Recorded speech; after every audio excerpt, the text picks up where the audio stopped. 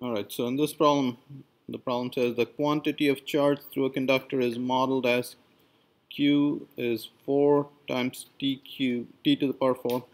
Um, again, by the way, uh, let's make sure we understand units. Q is charge that's measured in coulombs. So, and you have T to the power of 4, T is measured in seconds. T has dimensions of time. So this constant you see has coulombs divided by second to the power 4. The second to the power 4 will cancel that and you'll get coulombs. So dimensionally what you need to make sure is that each of these terms, this is an apple, this is in coulomb, so each of those terms needs to be a coulomb. Okay, so this is apples, each of those terms need to be an apple. So this works out this is coulombs per second and the second will get cancelled by the second for the t. So that'll be in coulombs and there this is in coulombs as well okay? So but again I won't be writing all that stuff so so here is the charge that has flown across a point of a conductor that you're standing.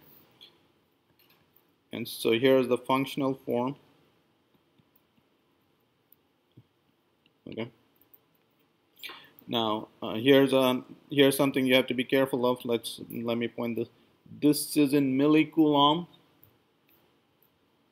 And all these terms are in coulomb so actually we'd better change that to coulomb. So this constant is 10 minus 3 coulombs. Okay. All right. What is the the question is what is the current at time t equal to 3 seconds the current at any time is given by d, the rate at which the charge is flowing. And 16 t cubed minus 1 that's the current at any time. And all they're asking you to do is evaluate it at uh, t equal to 3 seconds. So t equal to 3 seconds uh, that's 20 uh, 27 16 into 27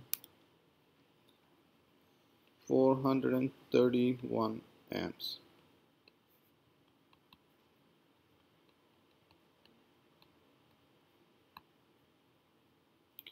Okay so that's a fairly large current